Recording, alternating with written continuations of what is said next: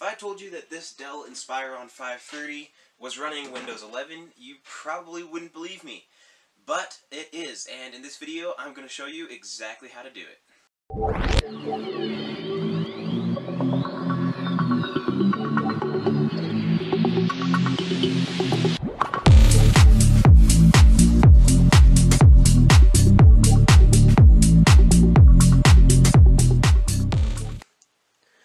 Now the Dell that we're going to be using for this installation is a uh, Dell Inspiron 530. It's got an Intel Core 2 Quad Q6600, which is a 4-core, 4-thread CPU that runs at 2.4 gigahertz. It's got uh, 4 gigabytes of DDR2 memory in quad channel mode. It's got a 60 gigabyte SSD and 800 gigabytes of hard drive space, and it is rocking integrated uh, graphics off of the CPU and has no dedicated GPU whatsoever. So not a very powerful uh, PC, but that's okay. We should still be able to install Windows 11 on it. So I've got the desktop all hooked up to a monitor here so that I can uh, show you exactly how to install Windows 11 on unsupported hardware. So the first thing you want to go to is this GitHub file uh, called Bypass 11. I'll leave a link for all this stuff down in the description below so you guys can easily find it for yourself. So what you want to click on is the Bypass 11 right here. And then the file we want is skip tpm check on dynamicupdate.cmd. So just click on that. And then go over to the right here and click copy raw contents.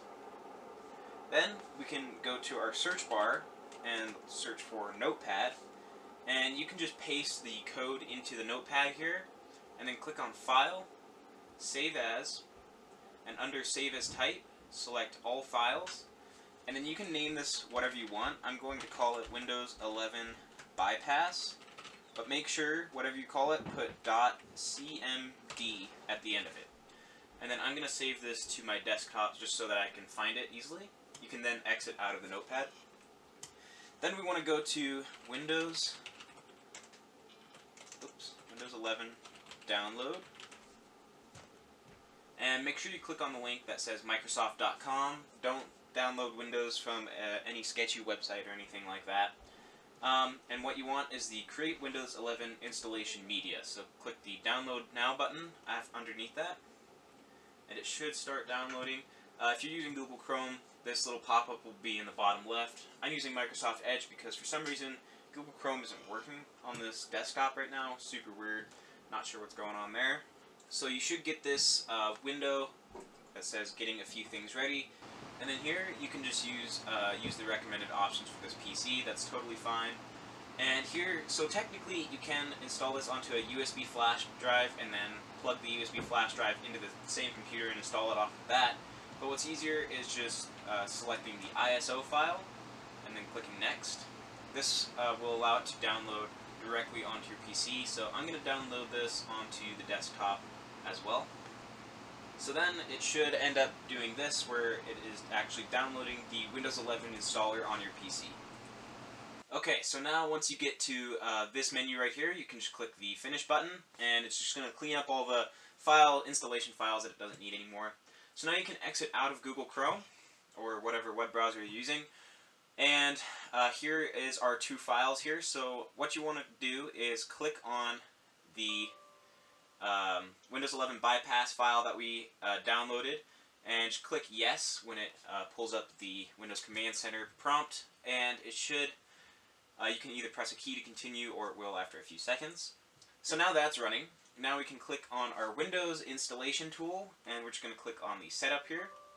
Click yes Unfortunately, the uh, screen recording software uh, doesn't show the uh, prompts, those two prompts for um, like Windows permissions or whatever, just for like security reasons. So just click yes on both of those, and it should be uh, begin to install Windows 11. And we can choose what we want to keep from Windows 10, so you can either keep file settings and app, keep personal files, or completely do a fresh install. I'm going to uh, have the first option, keep file settings and apps and then just click next. So once you get to this point, it says ready to install, so um, you can change what you want to keep. You have one more chance to do that, uh, but I'm just going to click install. And from here, Windows 11 will begin installing on your PC. Alright, so here it is. We've got Windows 11 installed on this old Dell.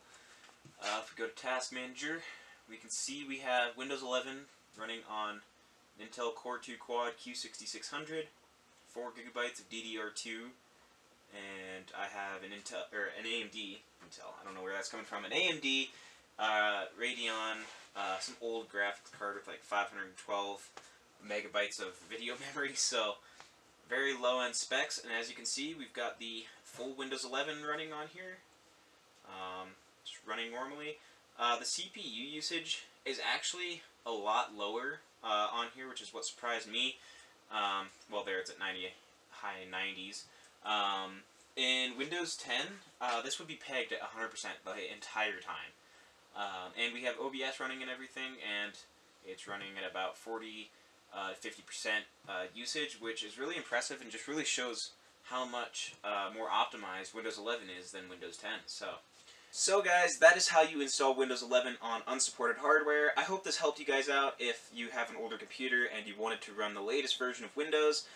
And if you have any questions about the process of doing this, make sure to leave a comment down below and I'll try to get back to you as soon as possible on that. And I hope you guys enjoyed the video, and thank you for watching.